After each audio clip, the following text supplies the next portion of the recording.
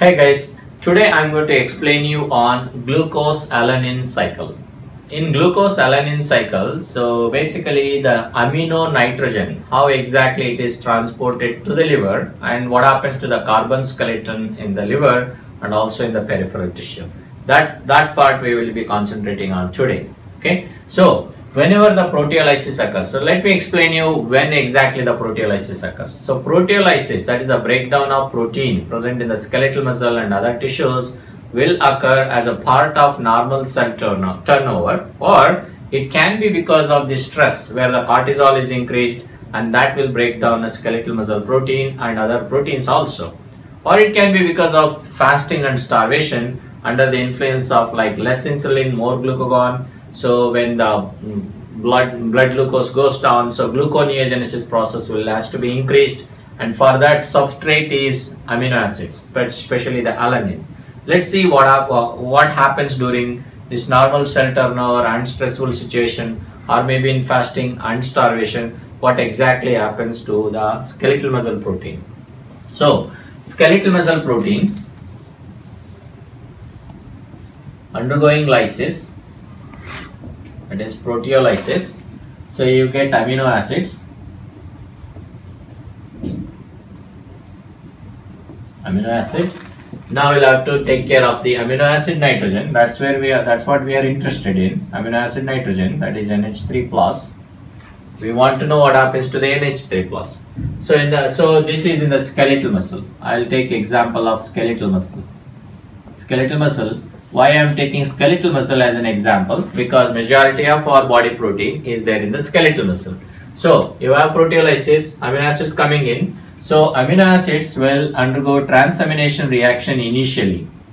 As you all might be knowing in the transamination reaction, it is a reversible reaction where the denominator is alpha ketoglutarate, alpha ketoglutarate which is converted to glutamate, glutamate after transamination reaction and the amino acid amino nitrogen given to alpha ketoglutarate that's when it is converted to glutamate it means your amino nitrogen is there in glutamate. Now the amino acid carbon skeleton will be alpha keto acid. Alpha keto acid. What happens to the alpha keto acid in the skeletal muscle? Alpha keto acid can undergo energy metabolism to give energy to the tissue. That's the fate of alpha keto acid. Now we have taken care, the, care of carbon part of amino acid that is becoming alpha keto acid and it gets into energy metabolism. Now let's see what happened to the amino group that is that was present in the amino acid after transamination. It is now in the present. Uh, it is forming glutamate. Now this glutamate will undergo one more transamination reaction catalyzed by alanine transaminase that is ALT. ALT reaction alanine transaminase. What it does? It is going to participate means give its amino group to pyruvate as you all know, pyruvate you get from glycolysis as the end product of glycolysis is pyruvate here. Now amino group is given to pyruvate, that's when pyruvate is converted to alanine. Pyruvate is a keto acid, it accepts amino group and then converted to alanine and now your amino group is there here in alanine. All this is going on in the skeletal muscle. Okay, now I'll draw the skeletal muscle. This is the skeletal muscle.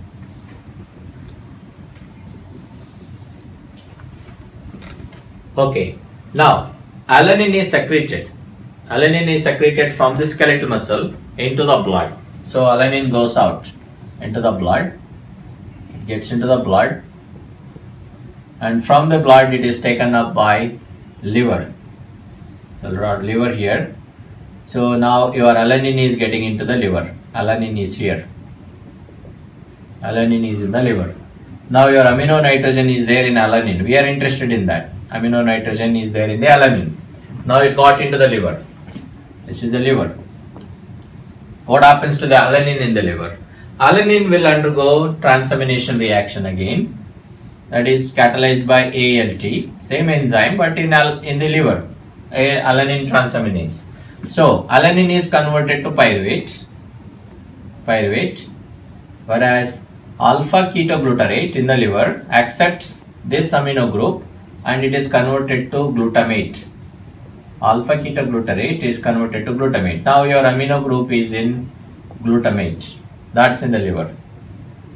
So what we have seen now is alanine which is coming out of skeletal muscle under starvation, stressful situation, fasting condition or normal uh, protein turnover. So now it is taken up by the liver. Liver is going to conduct transamination reaction where alpha ketoglutarate is accepting amino group and becoming glutamate and alanine is converted to pyruvate. Now let's see what happens to the pyruvate and then I'll come to what happens to the glutamate.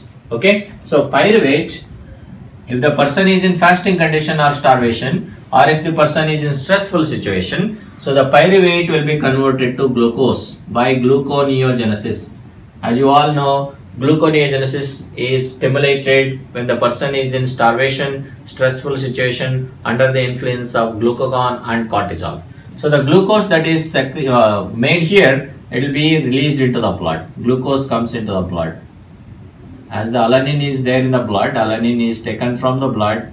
Now the glucose, alanine carbon part is converted to glucose and that gets into the blood. Okay. Now that glucose will be taken up by the peripheral tissues, not majorly by the skeletal muscle under fasting condition. It will be generally taken up by the neurons and red blood cells some of the glucose can be taken up by skeletal muscle but not predominantly. Anyway, to complete this cycle, so glucose which is there in the blood taken up by the skeletal muscle and glucose is here and that will undergo glycolysis. And on glycolysis you get pyruvate. And pyruvate can undergo transamination reaction. Bring one more alanine. Okay? So this completes the cycle here. This particular cycle we call it as glucose alanine cycle. Glucose alanine cycle. As you can see alanine is moving out of skeletal muscle going to the liver. In the liver alanine is converted to pyruvate. Pyruvate is converted to glucose. Glucose comes out into the blood taken up by skeletal muscle undergoing glycolysis forming pyruvate. Pyruvate gets into one more alanine transamination reaction brings alanine. And that's the cycle here glucose alanine cycle. Anyway let's move on to see what happens to the amino nitrogen. That's the that's what we wanted to know what happened to the amino nitrogen. So all the way from skeletal muscle we brought this amino nitrogen. Here is the amino nitrogen. It was there in the amino acid. Then we have conducted transamination reaction. So now your amino nitrogen was there it is there in the glutamate. Now we have conducted alanine transamination reaction. Now your amino group is there in the alanine.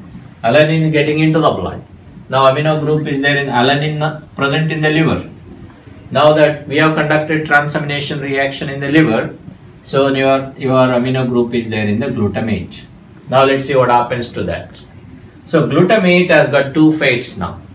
Glutamate can undergo glutamate dehydrogenase reaction, GDH, GDH that is glutamate dehydrogenase enzyme catalyzed reaction it means glutamate is broken down into alpha ketoglutarate and releases ammonium ion NH4 plus. And this ammonium ion will get into urea cycle, urea formation and urea is secreted into the blood. Urea is getting into the blood and from there it is taken up by kidney blood urea then the kidney kidney filters that into urine. Urine urea. Ultimately whatever the urea that is synthesized will be excreted by the kidney okay? So that's one fate of glutamate. So basically what we have done we have excreted your basically the amino nitrogen in the form of ammonium ion which is getting converted to urea. Urea is secreted by the liver filtered by the kidney and appears in the urine. Okay. Now another fate of glutamate is glutamate undergoes AST catalyzed reaction that is AST aspartate transaminase. AST is aspartate transaminase. So glutamate is converted to alpha ketoglutarate oxaloacetate OAA oxaloacetate which is a TCA cycle intermediate oxaloacetate is converted to aspartate amino acid aspartate aspartate it means you have transferred amino nitrogen from glutamate to aspartate. Now your nitrogen is there in the aspartate and this aspartate it gets into urea cycle. Basically the nitrogen is given to urea formation. So that's how your nitrogen ends up in the urea. Ultimately your amino acid nitrogen coming from the peripheral tissues will be getting into glutamate, glutamate to alanine, alanine to alanine in the liver. From the skeletal muscle to the liver, alanine to glutamate again, glutamate undergoing glutamate dehydrogenase reaction, ammonium ion.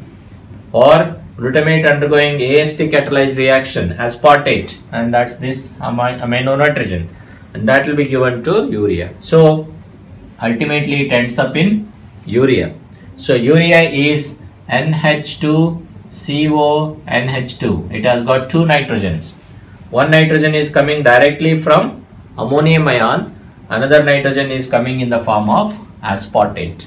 That's how you make urea in the liver once the liver synthesizes urea, urea is basically secreted into the blood and kidney takes that and it is going to filter that into the urine. That completes glucose alanine cycle. Thanks for watching.